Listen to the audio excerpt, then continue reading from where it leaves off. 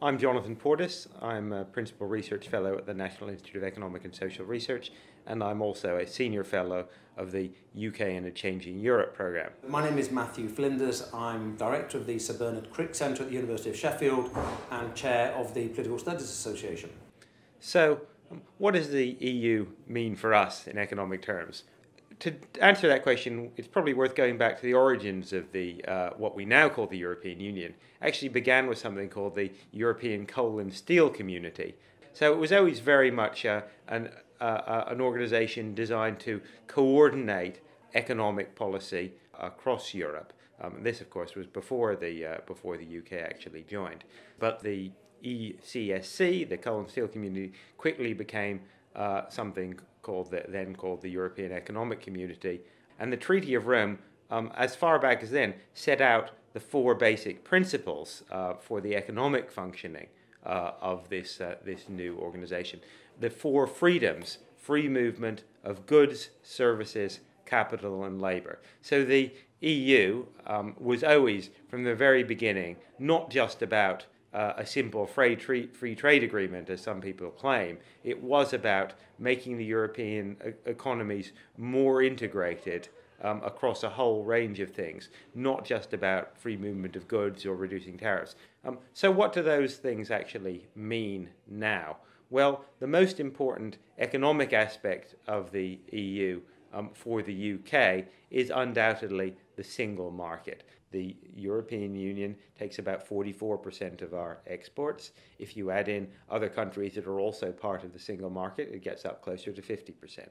Um, the single market uh, is not just about free trade in goods, it's about harmonizing um, lots of different bits of how our economies function, in particular, the sort of regulations that we apply um, to different products and services.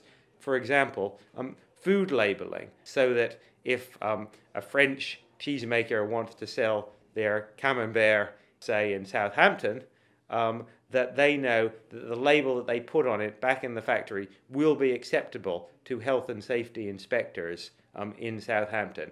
Another important part uh, of this is free movement of workers. Um, and what that says is that citizens of the uh, European Union member states have a right to work and hence to live um, in other member states.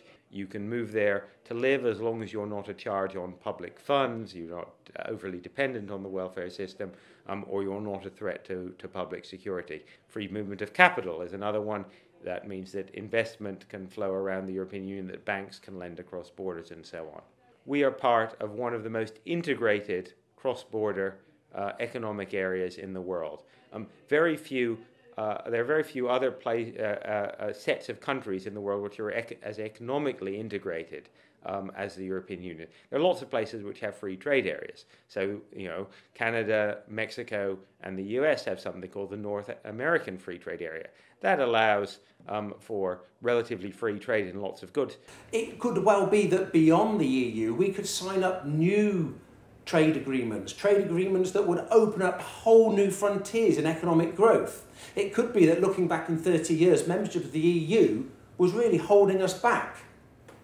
The problem is that actually, until you make the jump, we're never going to really know. That's some of the background about what the EU actually is. Um, how, what sort of economic impact has it had on the UK? Well, on this um, economists are pretty unanimous. If you simply look at a graph of Britain's relative economic performance um, compared to other European countries before 1973 or so, and then afterwards, you can see that before that period, we were rather underperforming most other European countries. Since then, if anything, we've outperformed. However, there are lots of other things going on that have always made the UK quite exceptional, indeed, an awkward partner the City of London, the Thatcherite reforms, the new public management of the 80s and 90s that were then copied all around the world. Lots of different things happening in the UK, which means that economic growth might have something to do with membership of the EU, but it might not be such a simple link. What does that mean would happen if we left? And this is where, of course, it gets much more difficult because the fact that EU membership has been broadly good for the economy up to this point does not automatically mean that leaving the EU would be a bad thing for the British economy. it would all depend on what happened next. I mean, in particular, what our economic and trading arrangements would be outside the European Union. So, over the last few weeks, we've seen independent um, and not so independent analyses from a variety of sources on the economic impact of leaving the EU.